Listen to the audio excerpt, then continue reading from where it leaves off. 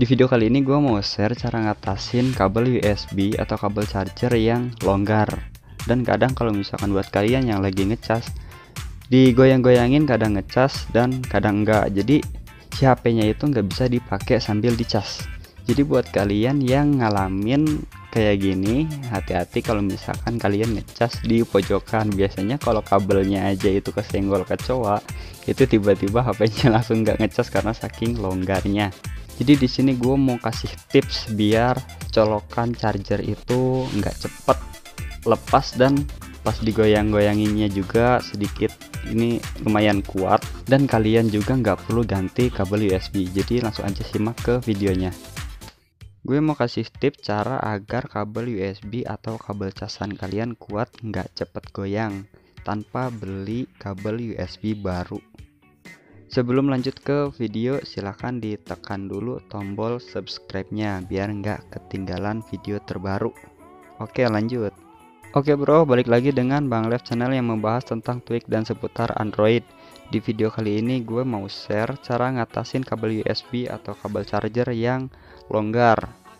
Buat sebagian orang ada yang ngalamin kalau misalkan lagi ngecas itu longgar dan kadang kalau misalkan kita goyang-goyang kadang masuk kadang enggak. Dan di setiap mau ngecas juga harus ribet dulu. Kita harus goyang-goyang sampai USB nya tersambung. Kalau misalkan udah tersambung ke goyang sedikit juga langsung mati lagi. Ini hanya tips gratis yang nggak perlu biaya seribu pun. Jadi buat kalian yang ingin mencoba silahkan dicoba. Kalau misalkan buat kalian yang lebih memilih pengen beli USB baru ya nggak apa-apa silahkan penyebab HP kalian kadang ngecas kadang enggak kalau misalkan pas konektor USB nya digoyang-goyang itu dikarenakan kuningannya. Bisa kalian perhatikan di situ ada 5 jajar kuningan. Dan yang bikin HP kalian kadang ngecas kadang enggak adalah si kuningannya bengkok atau nekuk. Dan yang bikin konektor charger kalian longgar adalah dua pengunci yang ada di kabel casan nggak nyangkut ke plug charger yang ada di HP nah cara ngatasinya kayak gini bro. Jadi kalian siapkan peniti atau jarum.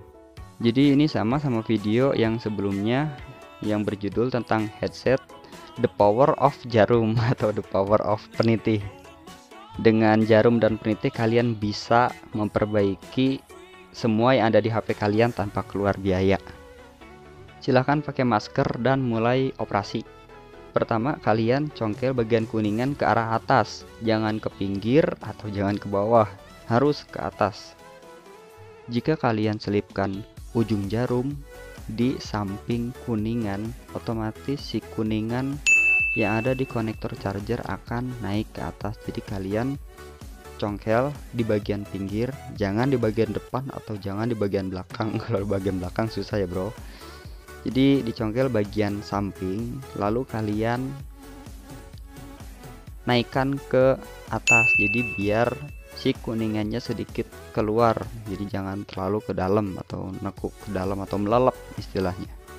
Kalian terapkan cara ini ke kuningan yang nekuk ke dalam. Jadi kalau misalkan buat kuningan yang normal nggak perlu kalian congkel. Kalau misalkan buat ngecas kuningan yang kepake hanya sebelah kiri dan sebelah kanan kalau yang tengah itu buat USB dan kalau misalkan kalian mau nyongkel yang sebelah kanan ya kalian bisa dicongkel lewat sebelah kiri.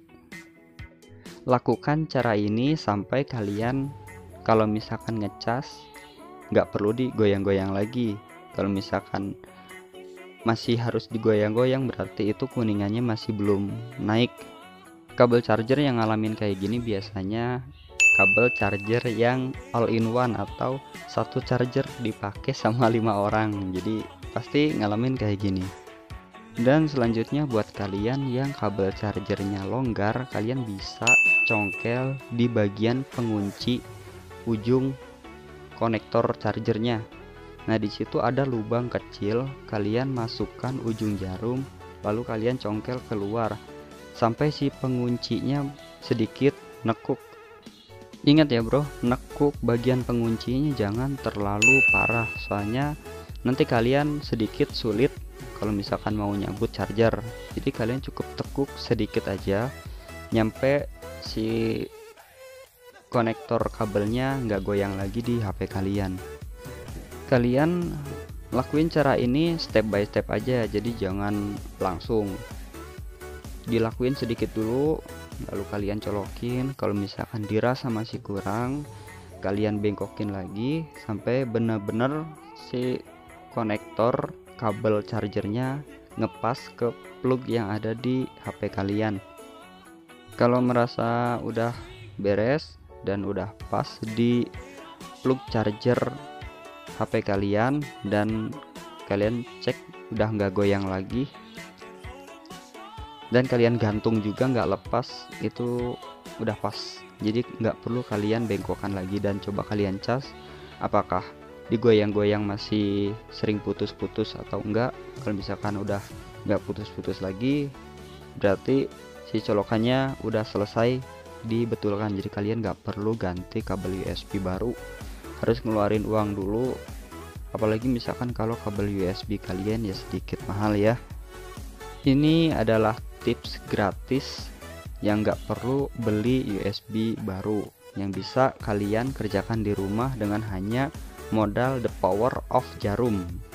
Oke semoga video ini bermanfaat buat kalian bisa nambah ilmu lagi dan kalian gak perlu mengandalkan counter Oke sampai jumpa di video selanjutnya